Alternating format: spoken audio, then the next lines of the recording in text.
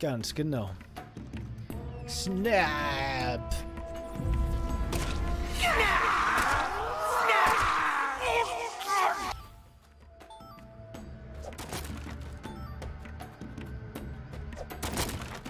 Durch welche Quest haben wir den Magnum-Mod bekommen?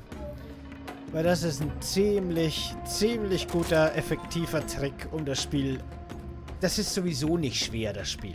Aber so kann man es wirklich auf super very easy stellen, irgendwie das Ganze. Was gar nicht so blöd ist, weil durch die ganzen Ruckler und, und Slowdowns ähm, ist es manchmal einfach nervig. Oh nein, jetzt habe ich den Bug wieder.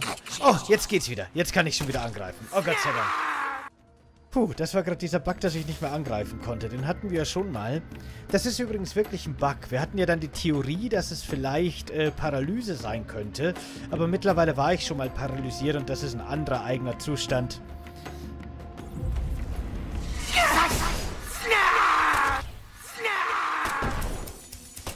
Also es gibt leider es gibt leider wirklich einfach einen Bug, mit dem man dann nicht mehr angreifen kann, was echt ziemlich blöd ist. Also gar nichts mehr machen kann. Außer rumlaufen.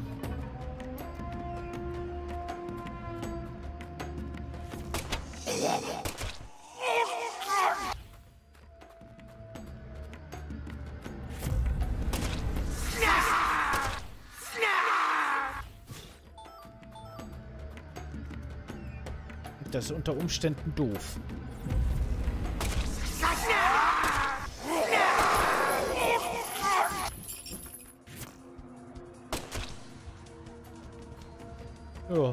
Na dann.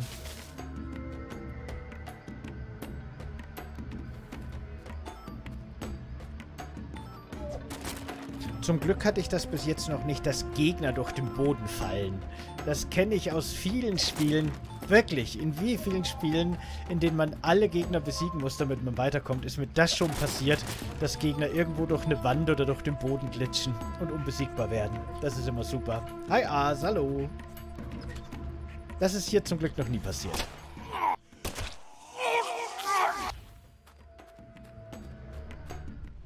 Das Design dieser Gegner verstehe ich immer noch nicht. Warum sind das alles Clowns? Und warum hat der eine Türen auf dem Rücken und schüttelt Schlösser, zu Vorhängeschlösser, die dann zu Spinnen werden oder sowas. Das gibt für mich auch im Kontext des Spiels, ergibt das irgendwie überhaupt keinen Sinn, das Monster-Design.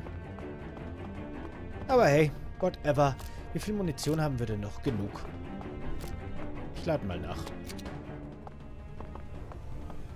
Na dann weiter.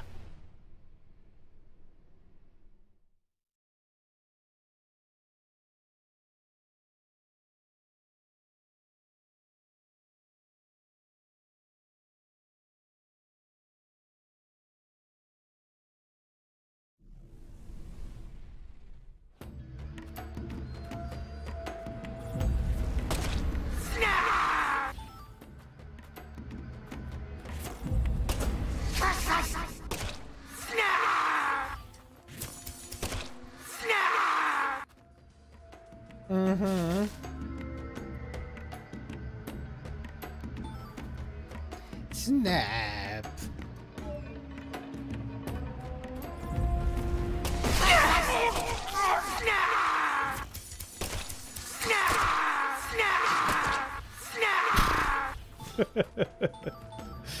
oh Gott, ey.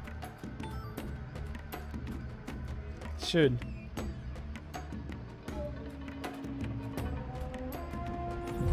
Ah ja, das hast du schon mal... Ich glaube, oder? Das hast du mir eh schon mal geschrieben. Dass das so ein berühmter Zirkus, so ein berühmter Südstaaten-Zirkus sein könnte. Mardi Gras. Ja, gut. Aber der findet halt auch, ich meine, trotzdem irgendwie nie, nirgends Erwähnung und kein Charakter in dem Spiel hat einen Bezug dazu oder irgendwie. Find's trotzdem komisch. Auch wenn das schon durchaus die Inspiration sein könnte. Ah, nein. Jetzt haben wir den Bug wieder. Aber er ist schon wieder weg. Okay. Glück, echt Glück. Ich hatte das nämlich, als ich nicht gestreamt habe, mal, dass der über mehrere Minuten nicht mehr wegging. Und dann habe ich mich einfach töten lassen, weil es ging nicht mehr anders.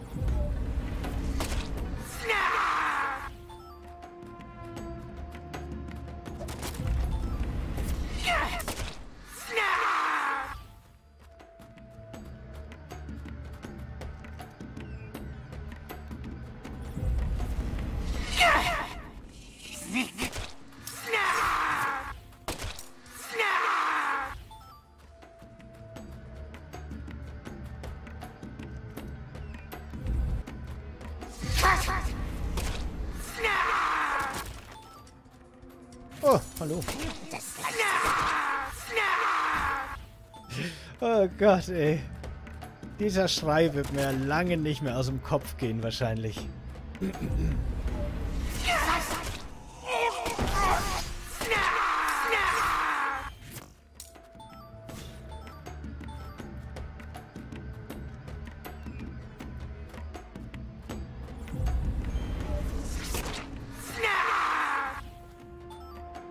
Das ist sowas wie bei uns der Karneval. Ah, okay, okay.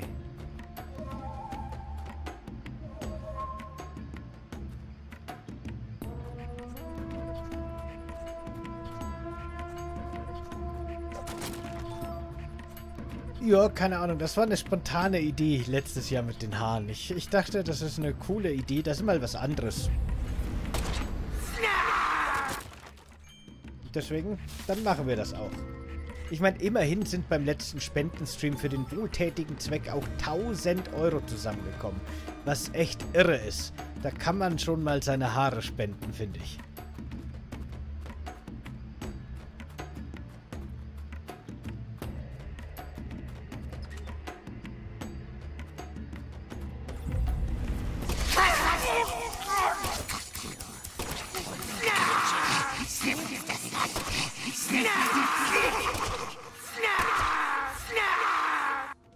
Na.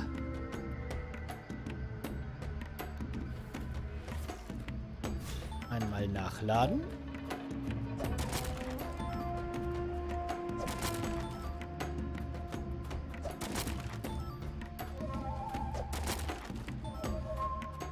In Mafia 3 in einer Mission. Ich glaube, Mafia 3 habe ich, glaube ich, nie gespielt.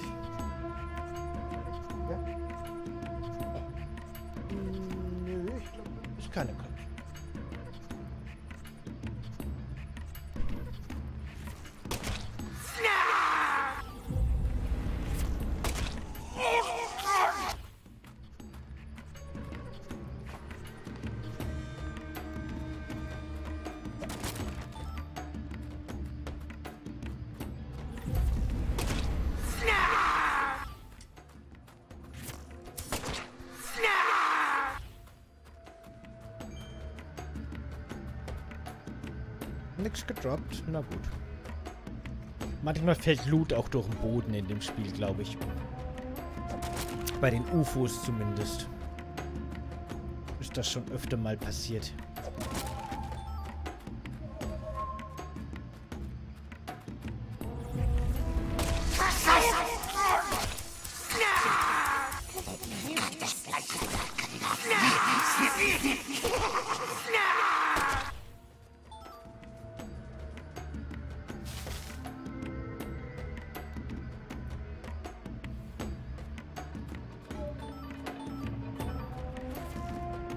Messingschloss, cool. Das sind so, so Monster-Loot-Teile, die brauche ich für irgendwelche Upgrades. Das ist echt cool. Insofern lohnt sich das gleich doppelt, dass wir das hier nochmal machen müssen. Nicht nur wegen der Nebenquests, sondern auch wegen Upgrades für unsere ganzen Fetische und Ketten und Puppen und Weihräucher und was wir nicht alles haben, um unseren Charakter, unsere Waffe und vor allem unser Skateboard aufzurüsten.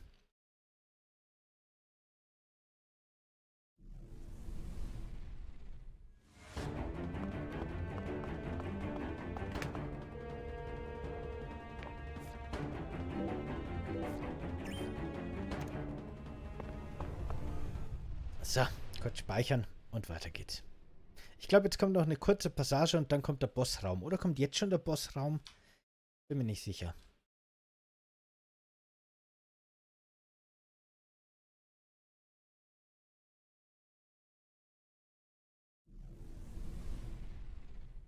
Nee, kommt noch eine Passage, genau.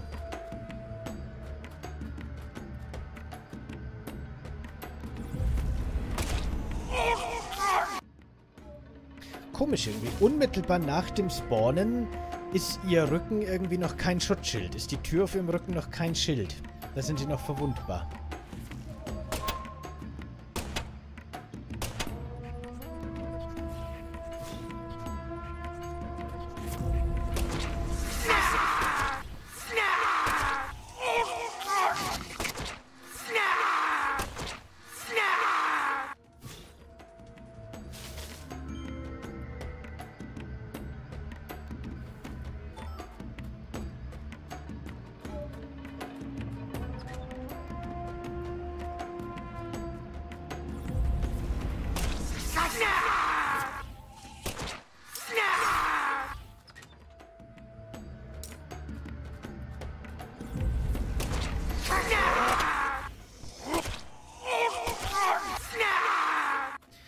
Zumindest kommen wir echt zügig voran.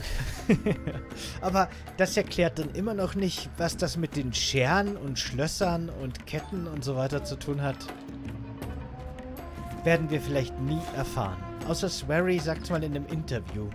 Oder es kommt gegen Ende noch dieser Moment, wo man dann sich denkt, ah, jetzt wird mir alles klar. Vielleicht. Ich meine, im ersten Teil waren es halt auch nur so sehr japanische Geisterwesen.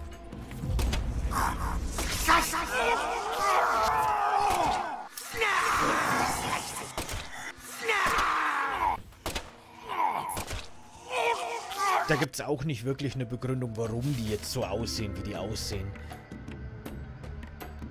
Die im ersten Teil sind halt relativ... Naja, die, die passen überall rein. Die haben kein festes Thema. Und hier mit dem mit dem Zirkus-Outfit und den komischen Waffen und sowas versuche ich immer Sachen rein zu interpretieren. Aber vielleicht ist es wie im ersten Teil einfach nur hier Monster, Bam, fertig. Passt so ein bisschen zum, zum Thema, also zum Setting. Und mehr, mehr es nicht. Vielleicht.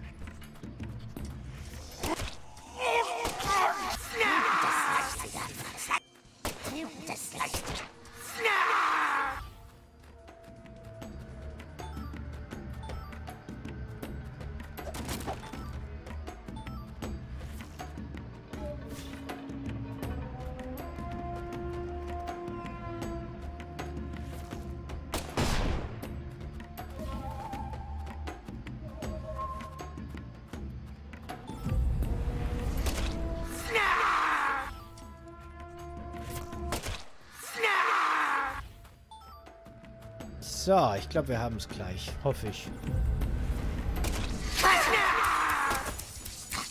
Oh.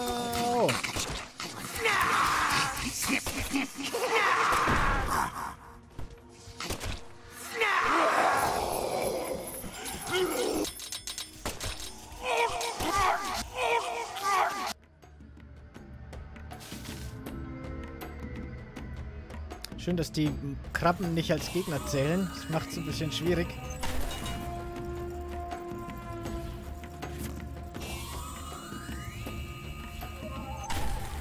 Okay.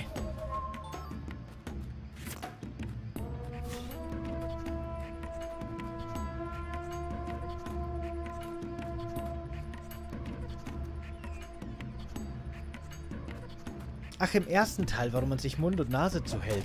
Ich glaube, das ist einfach so ein, so ein japanisches kulturelles Ding mit Geistern, weil die Toten vom Atem angelockt werden. Irgendwie sowas. Das habe ich zumindest schon in ganz vielen Horrorfilmen und, und Animes mit dem Thema und so gesehen. Mit dem Nase zuhalten. Keine Ahnung. Oder kennst du da eine explizitere Begründung? Eine, eine genauere Begründung? iyo katsu halu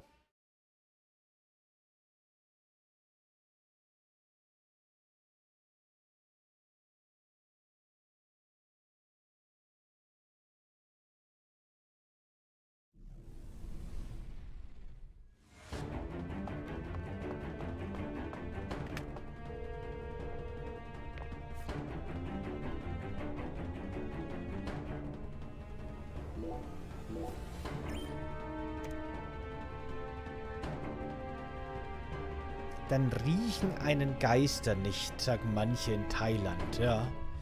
Ja, irgendwie so, so habe ich das auch aufgenommen aus den Filmen, die ich gesehen habe, dass das so irgendwie, dass die, die Toten quasi den Atem von einem irgendwie wahrnehmen können oder so. Vielleicht auch riechen oder wahrscheinlich gibt es auch regionale Unterschiede.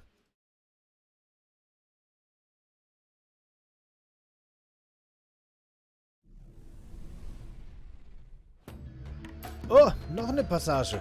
Ich dachte, wir sind durch jetzt.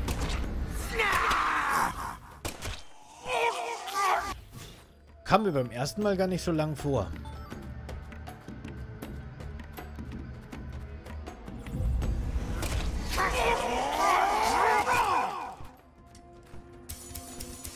Oh!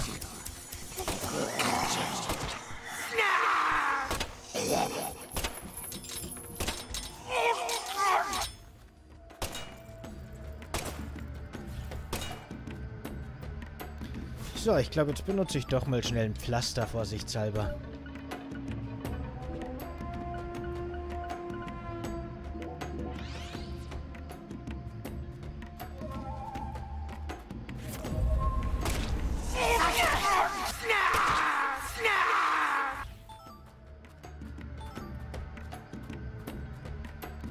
Okay, hier geht's noch nicht weiter. Ah, müssen wir den Raum wahrscheinlich erst auslernen.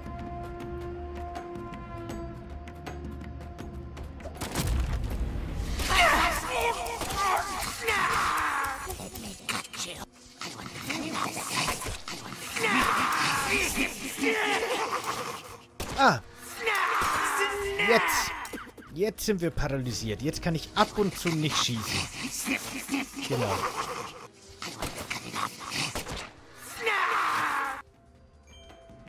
Das ist paralysiert.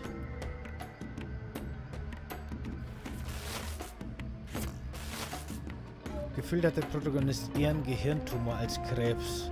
Bei dem Zeug, was der sieht. Aber ein Gehirntumor ist doch Krebs.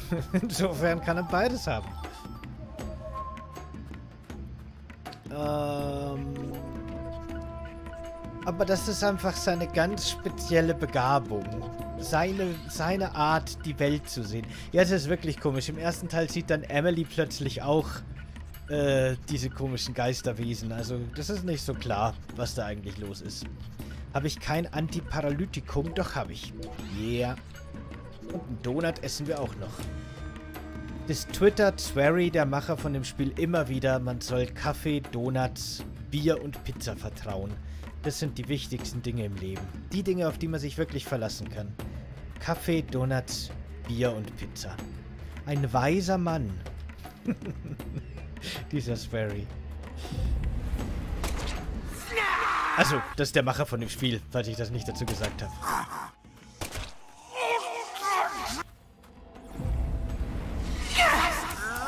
Na, lass los! Er lässt mich los. Oh, Verzeihung. Wollte sie nicht anrempeln.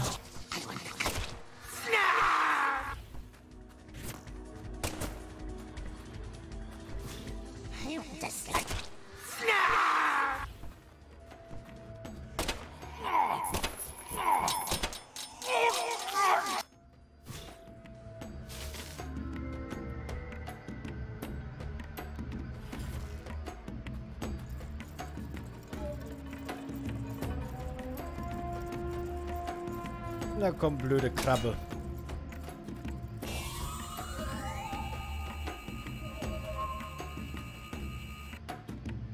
Okay, ich glaube, die hat sich aufgelöst. Wenn zu lange kein... Also wenn der Boss tot ist quasi, der, der, der Spawner, und zu lange nichts passiert, dann hauen die einfach wieder ab. Zum Glück. Nervige kleine Viecher.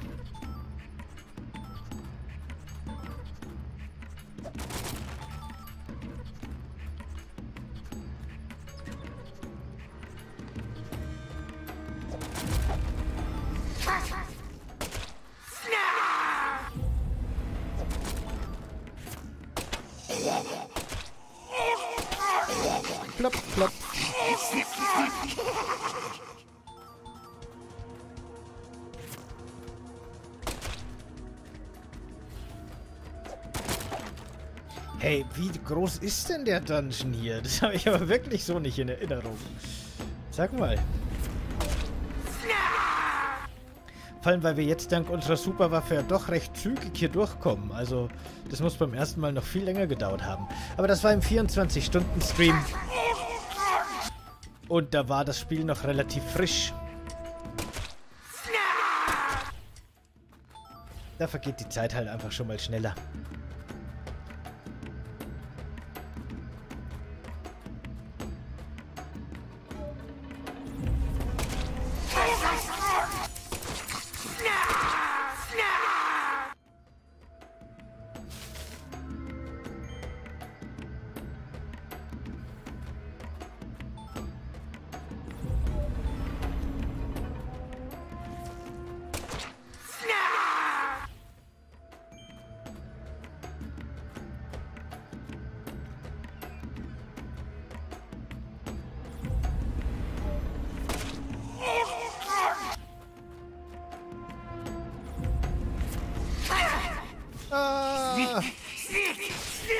Damn it.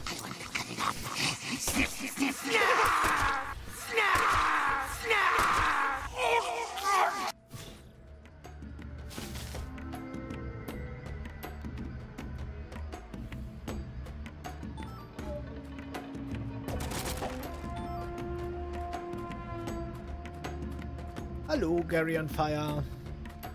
Wie geht's? Willkommen.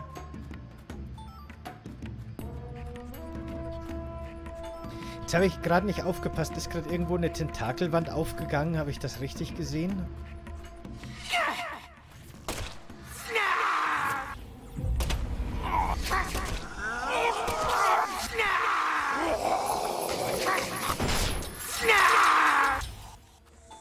Die schreien immer so, ey.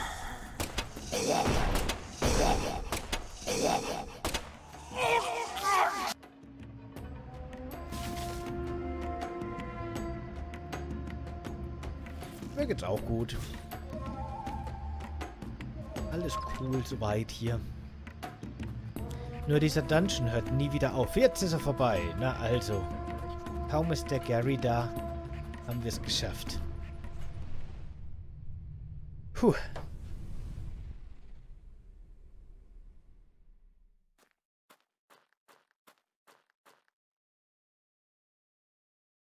Mehr Audio-Samples hätten die den auf jeden Fall spendieren sollen.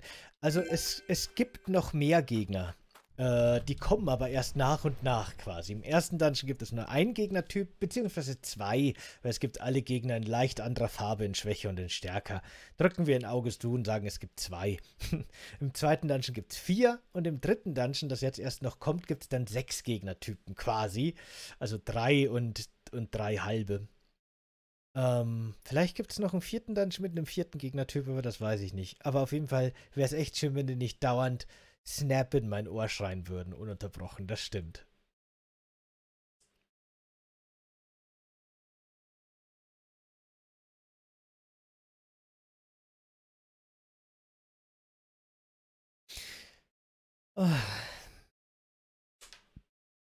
Aber jetzt haben wir es geschafft. Dann können wir ihm jetzt noch seinen zweiten Stein bringen. Vielleicht steht er noch bei den Müllcontainern, wenn wir Glück haben, weil ich glaube, in der Anderswelt vergeht keine Zeit. Weil das ja wahrscheinlich nur irgendwie in unserem Kopf passiert oder so. Man weiß es nicht.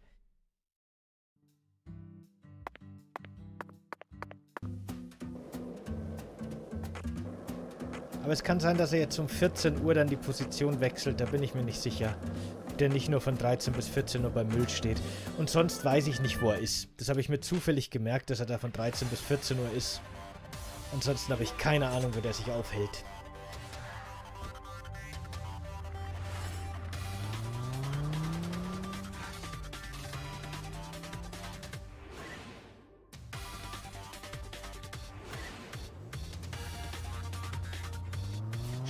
da hast du recht, Messer dran. Im ersten Teil war es auch hauptsächlich dieses, also dieser Standardgeist, den gab es zwar in verschiedenen Formen, aber die hatten auch immer die gleichen Sprüche.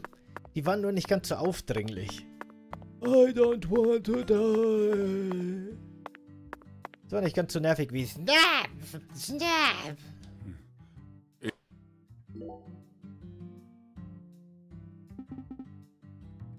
Jörg, du bist ehrlich ganz stark, ganz anders als ich. Nein, Avery, du bist auch stark, ganz sicher. Außerdem hast du eine ganz besondere Kraft. Ganz ehrlich? Ganz ehrlich, du darfst ruhig mehr Selbstvertrauen haben, Avery. Selbstvertrauen? Ich darf Selbstvertrauen haben? Hier ein Geschenk. Ah, die grüne Perle. Yes. Super gut. Was für eine außergewöhnliche Perle. Die nehme ich dankend an, Avery. Ich will auch mal so werden wie du. Darum muss ich ganz fleißig sein. Avery, du bist stark genug. Du bist gut so, wie du bist. Nein, das stimmt nicht. Ich bin dumm und ich bin schwach. Darum muss ich ganz fleißig sein. Dann darf ich auch Lies wiedersehen. Das haben sie mir gesagt. Avery, ich weiß zwar nicht, wer dir das gesagt hat, aber die Toten kann man nicht wiedersehen. Nicht wiedersehen? Aber mach dir keine Sorgen, Avery. Es gibt immer etwas, was man für die Toten tun kann, damit sie ruhig schlafen können, weißt du? Man kann zum Beispiel beten oder ihre Mörder hinter Schloss und Riegel bringen. Jeder hilft auf seine Weise. Auch und auch du kannst etwas für Lies tun. Auch ich kann was tun? Ich kann. Ich werde etwas tun. Ich werde etwas für Lies tun. Zack, Avery scheint gerade einen Entschluss gefasst zu haben. Was hat er wohl vor? wenn ich seine Gedanken nur besser nachvollziehen könnte.